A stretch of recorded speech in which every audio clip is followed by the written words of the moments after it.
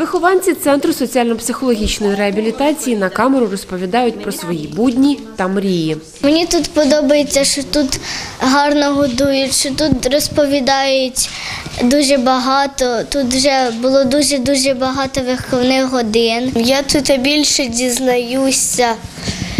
Е, Мрію стати медсестрою.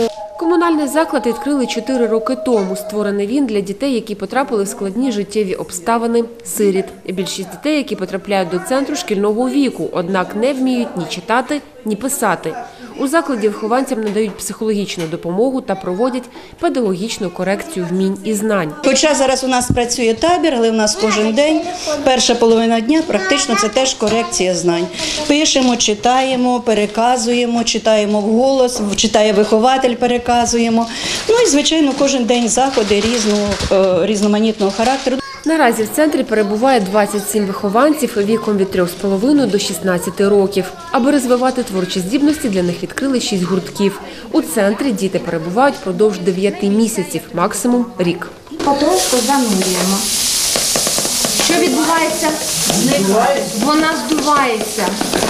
Повітря замерзає, воно стискується всередині і кулька наша здувається. Студенти Донецького національного університету презентують хімічне шоу. Закривай кров. Ой, молодець, все, все, все. Наприкінці травня в університеті відзначили Міжнародний день хіміка, каже доцент кафедри неорганічної та органічної хімії Наталя Леонова. Тоді студенти організували благодійний ярмарок. Кошти витрачають тепер на подарунки дітям-сиротам. На частину коштів ми купили настільні ігри, а на частину ми е, купили вихідні матеріали, які необхідні для проведення такого шоу. Я вважаю, що треба дарувати радість, треба дарувати тепло е, тим людям, які цього потребують.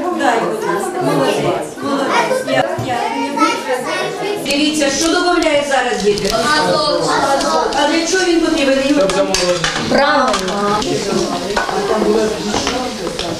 Дітки, подивіться, що в нас вже є. Подивіться.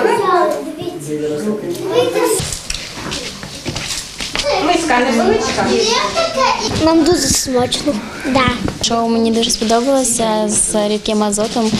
е, Різні види, що можна з ним зробити. Дуже цікаво. А ми ще А на десерт морозиво дуже сподобалось. Наступне хімічне шоу у дитячих будинках студенти планують презентувати у вересні. Наталя Колодій, Олександр Базюк. Новини.